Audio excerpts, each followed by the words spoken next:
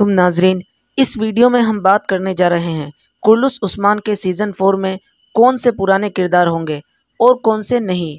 सबसे पहले हम बात करते हैं तुर्गुस साहब की।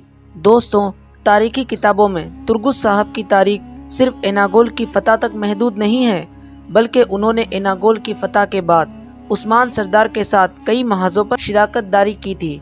लेकिन अगर सीरियल की बात करें तो हो सकता है कि आपको सीज़न फोर में तुर्गुस साहब नज़र न आए।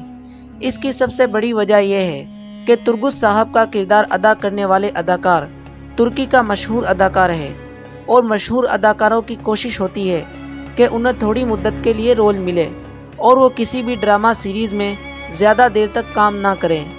हो सकता है कि आपको सीज़न फोर में तुर्गुस साहब का नाम सिर्फ़ सुनने को ही मिले।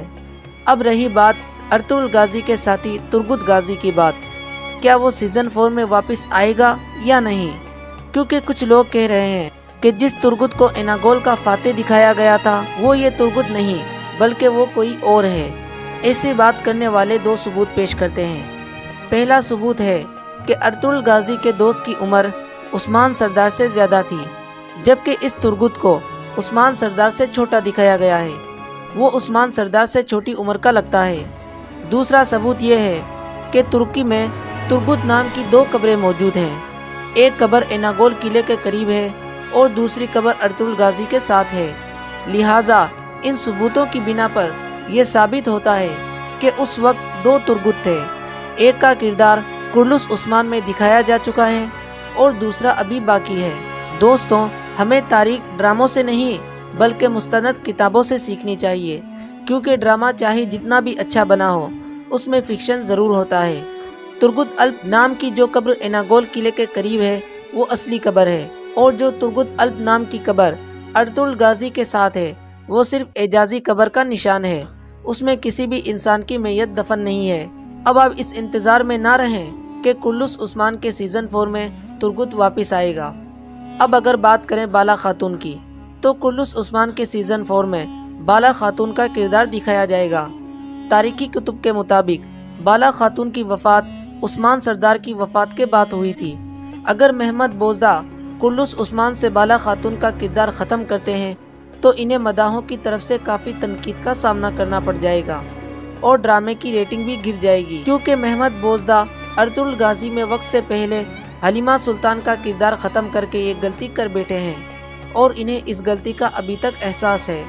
अब अगर बात करें कोनूर अल्प की तो उस्मान सरदार के जितने भी वफादार सिपाही हैं, कुल्लुस उस्मान में उनमें से काफ़ी अल्प्स की शहादत दिखाई जा चुकी है।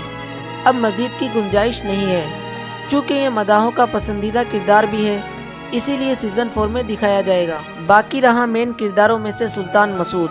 तो हो सकता है कि उनका और मंगोलों का किरदार सीज़न फोर में ना दिखाया जाए, क्योंकि तारीखी कुतुब के मुताबिक बारह सौ निन्यानवे में जब चंगेज खान के बेटे बातू खान ने एशियाई कोचक का रुख किया तो उसने सल्जूक सल्तनत तबाह कर दी थी।